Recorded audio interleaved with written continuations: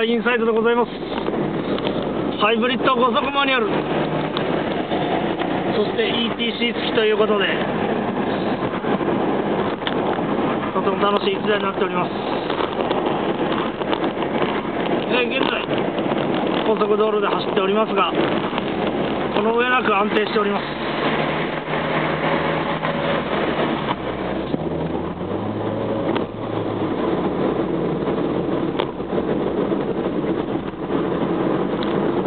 どうでしょうね走った感じ。足もまだまだしっかり硬くてですね。とても良好でございます。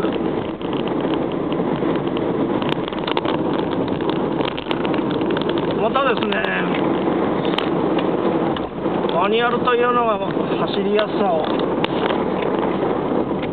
盛り上げておりまして。抜群の加速を見せております。ちょっと置きます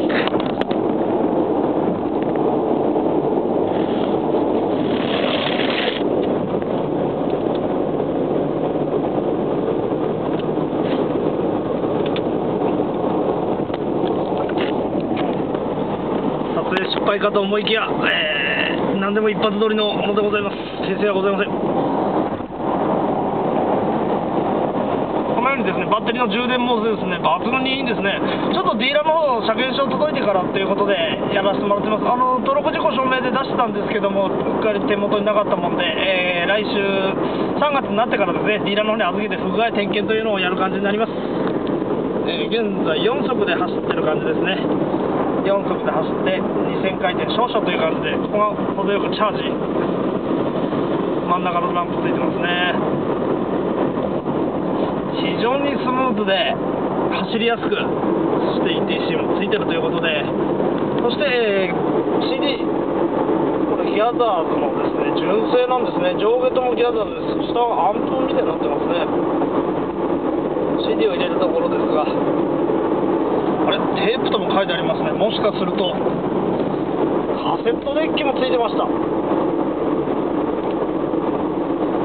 カセットと CD ラジオが使えるということでアンプではなく下は CD プレイヤーでした。失礼しました。ということでですね、えー運転しながら目をキョロキョロしながら危ない運転してますが程よく安定しておりますので全く問題ないぐらい楽しい走行ができております。内装もですね。結構綺麗でして。でスピーカーもですねちょっとなんかプレートが貼ってあったりして。まあノーマルかと思うんですけどもね。と